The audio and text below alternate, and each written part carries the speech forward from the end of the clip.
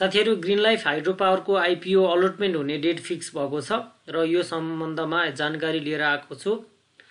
योभन्दा अगाडिको भिडियोमा मैले ग्रिन लाइफ हाइड्रो पावरमा कतिजनाले अप्लाई गरेका थिए कतिजनालाई पर्ने सन्दर्भमा भिडियो बनाइसकेको छु र यसमा मैले भएको हरेक अपडेट नछुटाउँ भन्ने हिसाबले आज मैले यो अलटमेन्ट हुने डेट फिक्स हुने बित्तिकै यो भिडियो बनाएको छु। ग्रिन लाइफ हाइड्रो पावरले सर्वसाधारणमा बिक्री गरेको आइपिओ यसै साता बाँडफाँड हुने भएको छ। यो शुक्रबार बाँडफाँड हुँदैछ। र तेह्र लाख सैँतिस हजार नौ सय बयालिसजना आवेदकहरू यसमा भेरिफाइड भएका छन् अनि तिन लाख पच्चिस हजार एक सय पैँसठीजनाले दस किताका दरले पाउने निश्चित भएको छ।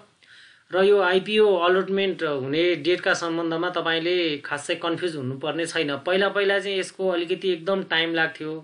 किनकि प्रविधि पनि त्यति धेरै एडभान्स भइसकेको थिएन होइन?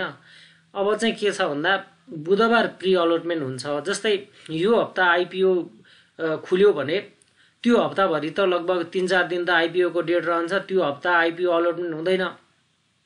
अनि अर्को हप्ताको बुधबार प्रि अलटमेन्ट हुन्छ अनि त्यही हप्ताको शुक्रबार अलटमेन्ट हुन्छ। यो ग्रिन लाइफको मात्रै होइन सबै आइपिओको लगभग त्यही हो।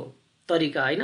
त्यो हिसाबले तपाईँहरूले आफ्नो मार्केट प्लान आफ्नो तयारी यो कहिले खुल्छ भन्ने सन्दर्भमा कौतुहलता भइराख्नु पर्दैन।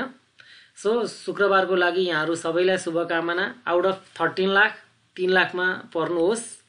अब सबैलाई त अब शुभकामना दिएर काम पनि छैन होइन? अब ज जसको भाग्य बलियो छ उसको पर्ने हो।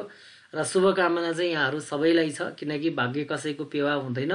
यहाँहरू सबैलाई दस किताको मालिक बन्न सक्नुहोस् भन्ने शुभकामना दिँदै यसको अलटमेन्ट भइसकेपछि यो ग्रिन लाइफको पुरा फन्डामेन्टल एनालिसिस लिएर आउनेछु। धन्यवाद।